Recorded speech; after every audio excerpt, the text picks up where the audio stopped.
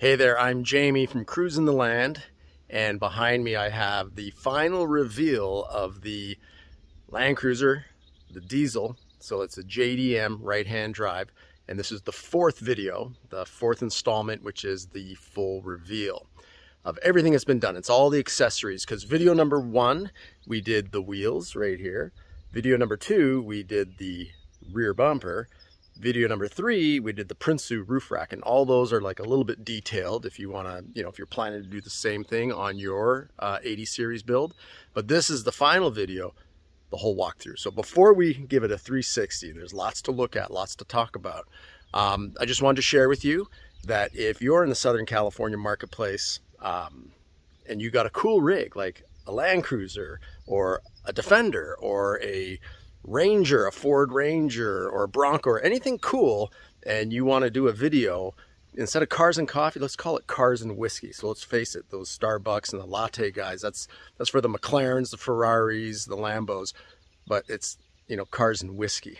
So let's do that. Um, so if you're local, just hit, hit a DM uh, and we'll get in touch and we could do a video uh, over at Cars and Coffee. Uh, I got a couple spots we can film or anywhere. So hit me up. I think uh, the subscribers love cool stories, not just the vehicle, but the person and what they do with it, and you know a little bit more um, personal with the trucks, right? Because they're unique, and I think the owners are also unique. I mean, you look at all these different 80s, they don't look the same. Every 80 is completely different because there's so many things you can do to them. Different suspensions, different bumpers, different lift heights, everything. So I think each and every single one takes its own character. So, and also, let's, you know, I, as far as subscribers, we have subscribers here in the US, which is awesome, right? But we got people commenting from Australia, from the Netherlands, from Germany, from Venezuela, Colombia. So hit the like. Let's let's show the rest of the world that hey, you know, even though we only got 20% of these 80 series here in the US, we love them just as much. So hit the like button. Let's see what the algorithm does with uh, with YouTube, which is owned by Google, and see if we can come up in the searches and get a ton of views from uh, our friends abroad. So let's start with the walk around. And I'll just flip this around. All right, so let me get into the light here. I'll just walk around the vehicle and then we'll go into detail here in a second. So just a full 360. I wanted to have half of it in the sun and then half of it in the shade here. Because as you know, black cars look better in the shade. Let me wipe down my screen too so we don't get that reflection. Okay, that should be better. So We've already done a video on the wheels and one of the additions I did here is I changed that delta wheel back here for a fuel. So this is non-bead lock. So this is a fake bead locker, whereas the other wheels, that's the real deal. Those are bead lockers. So with, I don't know, 24 of those. And these are custom. What I did is powder coated that gunmetal and this is black.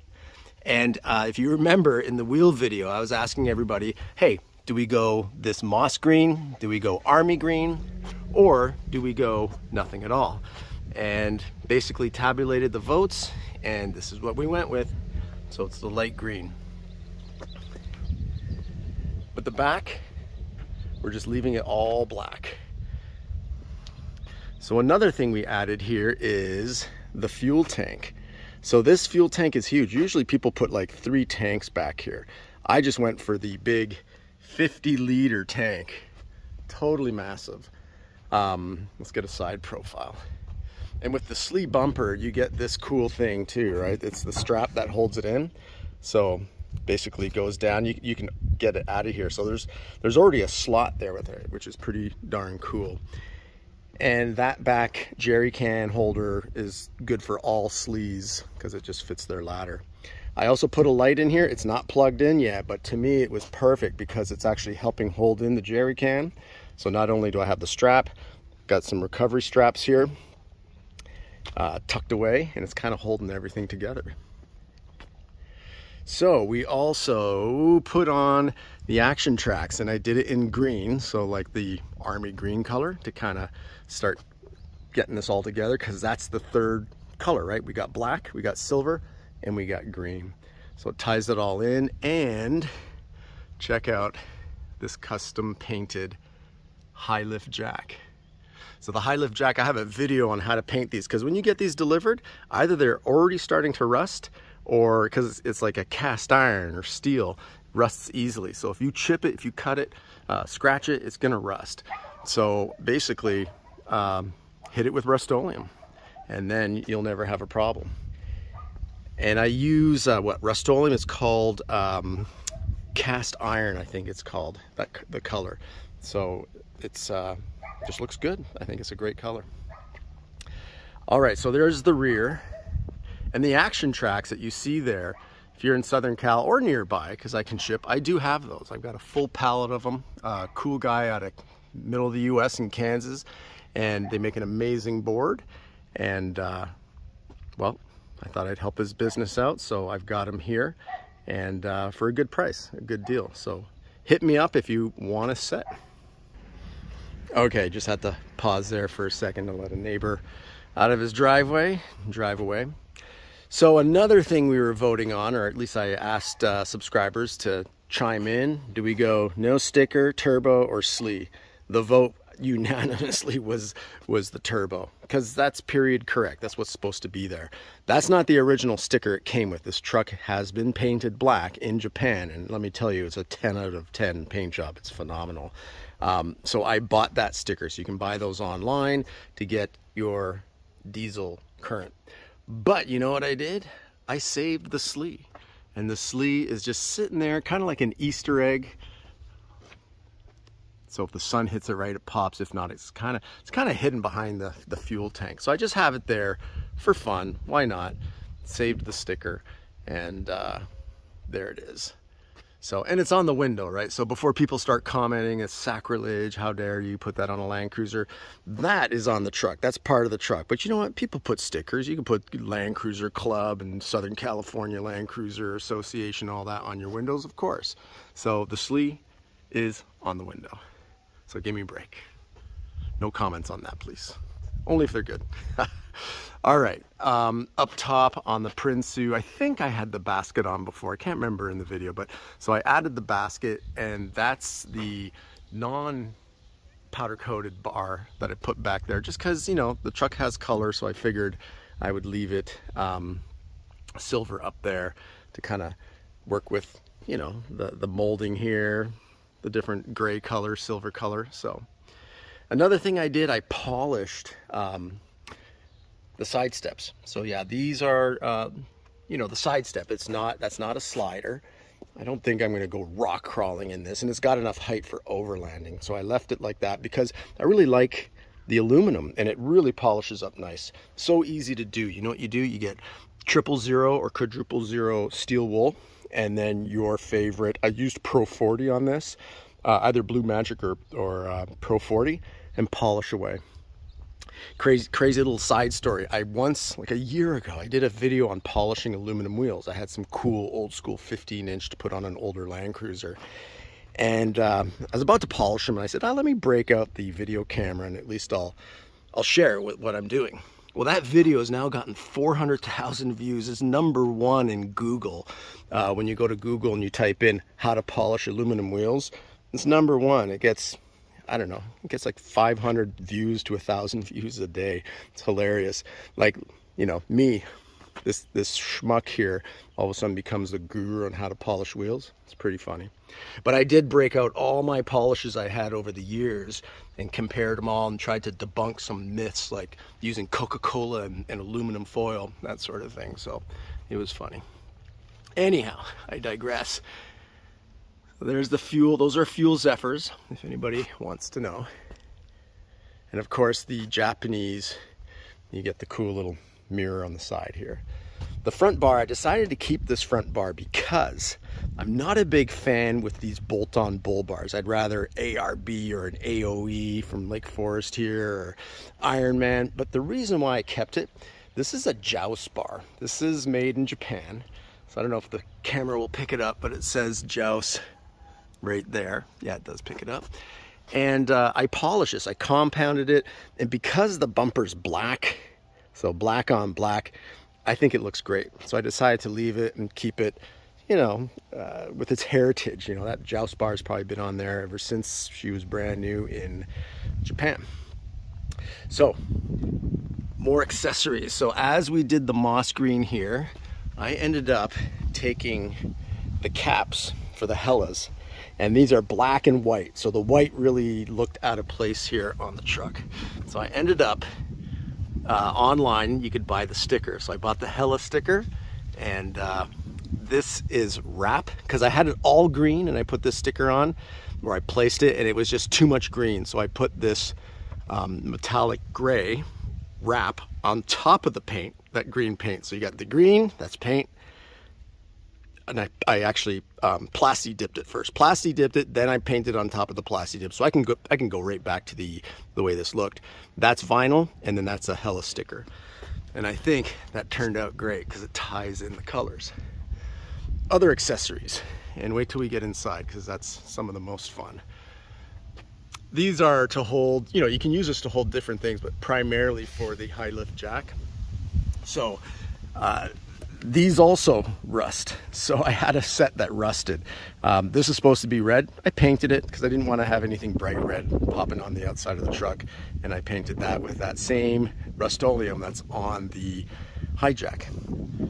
And I'm not sure, you know, a lot of people know Prinsu roof racks, but here's a, a load panel. So it slides between, you know, those little little spots that you, uh, those little rails. So it slides in between and it sits in nice and tight. So we'll load some stuff up there. All right. What else did we do? In an upcoming video, I am going to change the suspension. I'll, uh, I'll tell you about that in a second. And yeah, due to popular demand in my other videos, they're like, how come you're not cranking over this diesel? We want to hear it. I will do that. So hang tight, we're almost there. All right, what I wanted to show you with this clear glass is what we got going on inside. So let's open up the back, which we can do with one hand with their new system over at Slee. Gotta like that. All right. So this does have uh, what's pretty cool is the guy from Japan. This is all wood. I just, I had this vinyl and I just wanted to cover it to kind of get rid of that, rid of that wood look. So I still have to finish that off. Then I put this green um, sheet, same kind of color green as that, our high lift jack and all and the board. So I got a black board on the inside if you didn't notice that. So when I sell these boards, you can mix and match. You can get two different colors, which is kind of cool because if you ever want to flip it and have black on the outside, you know, or a red or an orange or a tan and a black, whatever you want, uh, you can just pick, pick your colors. All right, so on the inside, we did a Delta barrier and I love it. And it secures up here in your handles, you know, where your when your seat goes up, secures there. So bye-bye seat, we're using those same bolts. So you don't have to drill anything. And it secures down here an existing um, hole that you can just screw into. And then here you do have to drill. I saw a hole that was just beside it. So this is like a quarter inch back. And I just put a bolt in there and it's holding it better than not attaching it, but the best would be to drill a hole, which I will at some point. So you can hang your accessories. I got some crazy stuff up there. The uh, extinguishers on the other side because, you know, if you need to get it quick, you just want to get it through that back door. You don't want to have to open up the Slee rear bumper, even though it's pretty quick. So there's all that. So I have a video comparing this barrier to a Wits End which is, uh, oh, what's the company that makes it? It's a company that makes it that Wits End pretty much has the exclusive selling it. So I compared that. So, you know, if you subscribe to the channel or just look at my different videos, I'll put it in the description below.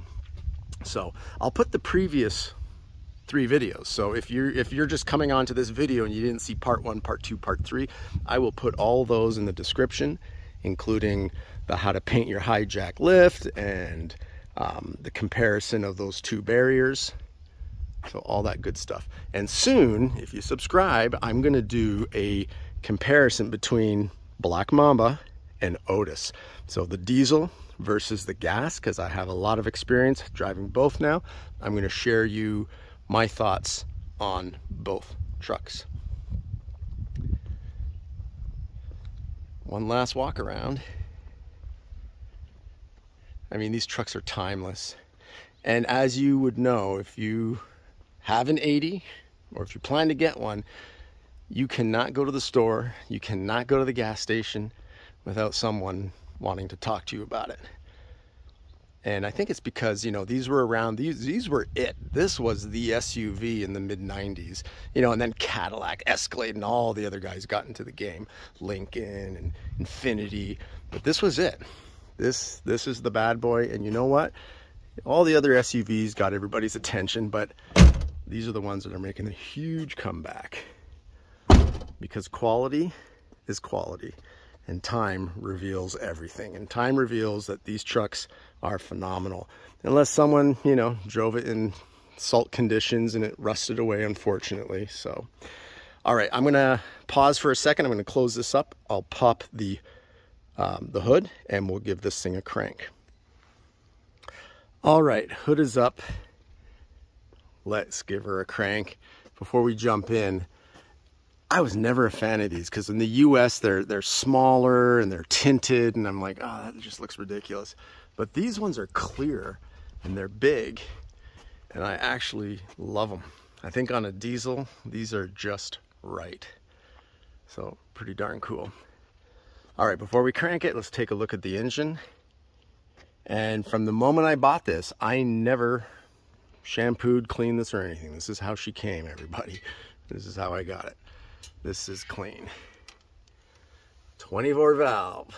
That's the magic. And you know, this is the um, the best for the 80 series. This is the best engine that they uh, came with in uh, Australia. The Australians will tell you that. The Japanese will tell you that. But here in the US, we just don't know it because we never got them. so we had nothing to compare them to or you know at the campfire on the off-road trail we couldn't hear the one guy complain about his mpgs and then the other guy saying what are you talking about i didn't need the long range tank because i got diesel does have a timing belt so you have to do your timing belt in this versus the fzjs it's more the head gasket and valve cover well valve cover gasket you'll do that in, in any of the land cruisers all right let's hear that symphony of an engine. And the other thing you'll notice in a uh, in an FZJ, you know, you got to crank it. Most cars with the starter, you have to crank it. This one, watch when I turn it, instant, instant start.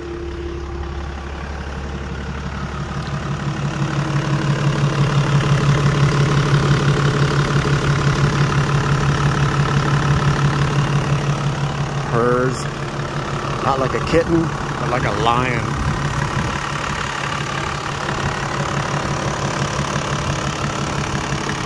Dual battery setup because it's a diesel.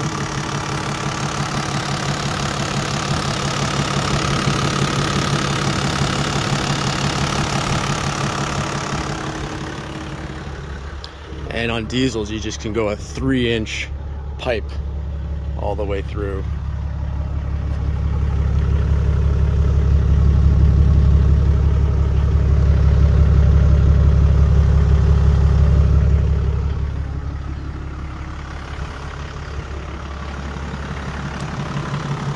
All right. What do you say we go for a drive?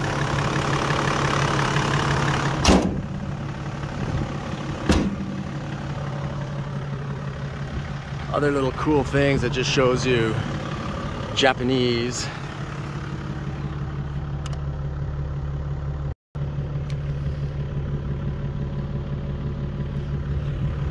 And then also on the back, um, I gotta research to see what more. I think it's like what the output is uh, since it's diesel. So 350 kg Godzilla, which is a 4.2 nat uh, naturally aspired engine, no turbo, is 400.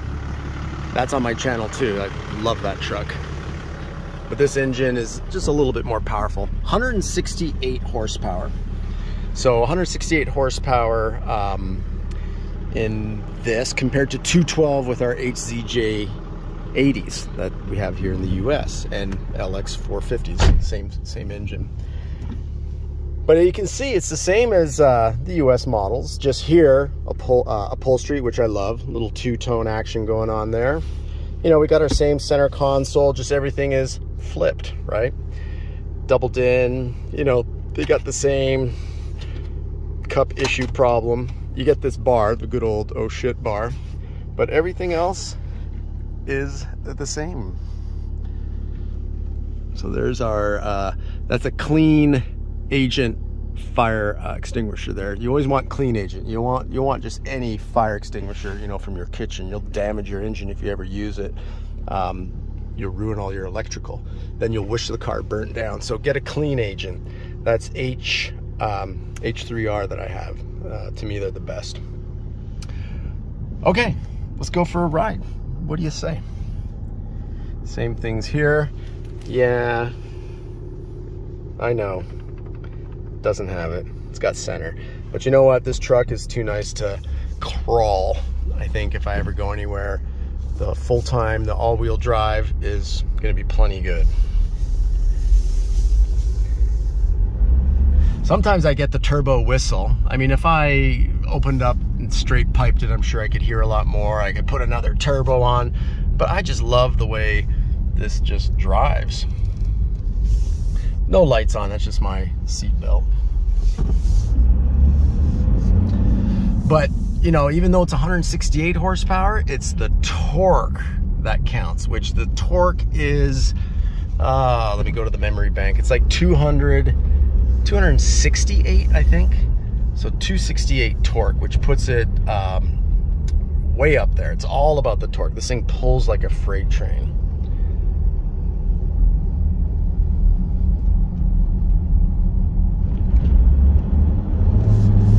It's just so smooth. So my daughter, who drives the uh, HJ61, so for people in America or Australia, that's an FJ62, but the Japanese high roof. So they call it an H.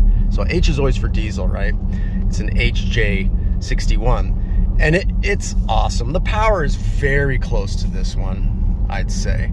Um, but she said, boy, this, this vehicle just drives so smooth and it doesn't even have you know high-end uh, shocks on it which little hint that's the next thing I think I'll be doing I already have the Fox shocks as you know those are like uh, not Fox sorry King shocks I've got King shocks those are like you got to wait one year to get them I've got them I just have to have them installed I just didn't want to hold back this release video just for that so if, uh, you hang tight probably in a couple weeks I'll I'll do a little update of a couple extra things I want to do on this truck maybe uh, some KC gravity lights up top and do like covers like those hella covers up front. We'll see. As long as it's not too much. But this thing gets right up. Oh yeah. Plenty fast. You know, I'm not gonna win a drag race, but this is plenty fast, plenty powerful. And I noticed through going through like um, passes, like big inclines. This diesel does pull amazing. But I'll, I'll save all that for my uh, comparison of a HDJ and an FZJ. Oh yeah, and in that next video, I'll do the uh, that bonnet. I got a video of this cool bonnet that comes out of the UK. So I have an all black, black ops with black stainless steel D-rings. It's so cool. I'll put it on this truck. But that's another day. So definitely subscribe if you if you're into Land Cruisers or like I said, other cool trucks and their owners. I want to start doing that. So hit me up if you've got something that you think is uh, is worthy of being shared. And you know, it's it's got to be old. Well, not you know, there can be some new Land Cruisers like 200 series all done up, but. Uh, you know, old is great. When old is, uh, get a nice little wave from our biker. When, uh, when old is clean and looking good, it just can't be beat. You know, you go to the cars and coffee, and yeah, anybody with a big pocketbook can get a brand new McLaren, Ferrari, this or that, and okay, drive it there. To me, I, I walk down that aisle pretty quick. The aisles I like are the aisles that are showing the old school trucks, the one-offs, the unique, you know. So, all right. Well, I'll hit pause. We're driving into the sun, and we'll do a quick little wrap up. Got a little Jeep in front of us. I'll follow him in case I have to help him get out of trouble.